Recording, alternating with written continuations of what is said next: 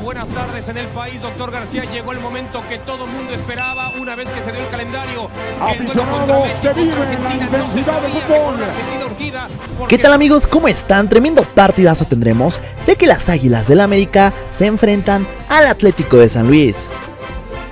Amigos, quiero que ahora mismo dejen su buen like, denle me gusta a este video si ustedes creen que el equipo del América vencerá al Atlético de San Luis.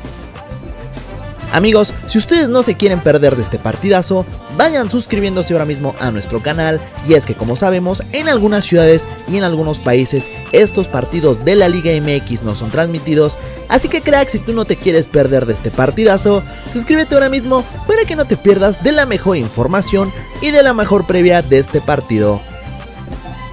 Y bueno cracks, tremendo partidazo tendremos, ya que las Águilas del América se enfrentan al Atlético de San Luis en esta jornada que se jugará entre semana.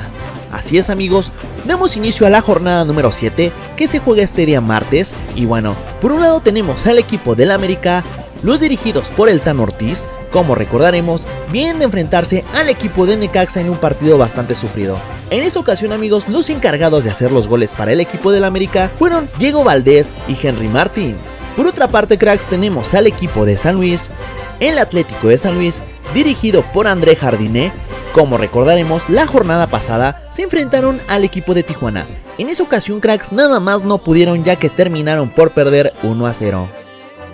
Cracks, en la tabla general encontramos a las Águilas del América en la quinta posición con 10 puntos. Ojo, si las Águilas ganan, se estaría colando entre los tres primeros puestos, mientras que el San Luis se encuentra en la octava.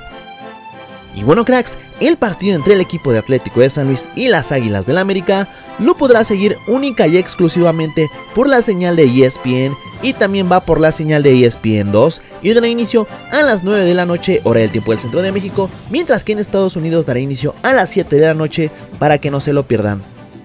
Cracks, hemos llegado al final de este video, no olviden apoyarnos con su buen like y sin más que nos vemos por un próximo video.